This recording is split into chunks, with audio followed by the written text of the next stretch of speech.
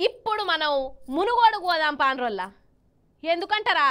ఈ పువ్వు గుర్తోళ్ళు చెయ్యి పార్టోళ్ళు ఎవరి కాళ్ళు మునుగోడు మాదే మాదే గెలుపు మేమే గెలుస్తాం అని ఓ ఒక గప్పాలు కొడతాండ్రా. మరి అసలు అక్కడ ఏం జరుగుతున్నది? అక్కడి జనం ఏమనుకుంటున్నారు?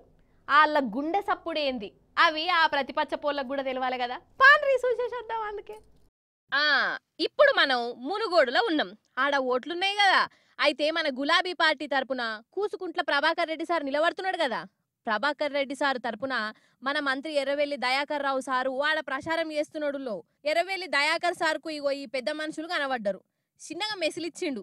ఇక అంత మంచేనా? ఈసారి ఓటు ఎటు దిక్కు? కేసీఆర్ సార్ పాలన ఎట్లున్నది? ఏంది కథ అని మెల్లగా అడిగిండోల్లా కథం గంతే.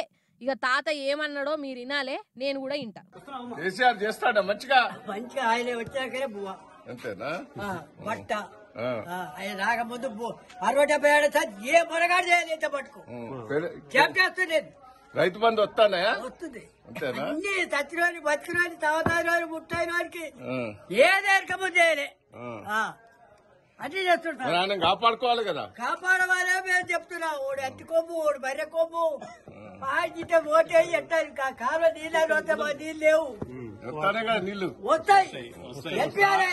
వారెవ్వా ఇన్నారోళ్ళ ఈ తాత చెప్పింది నూటికి నూరు వాళ్ళు వాస్తవం కదా?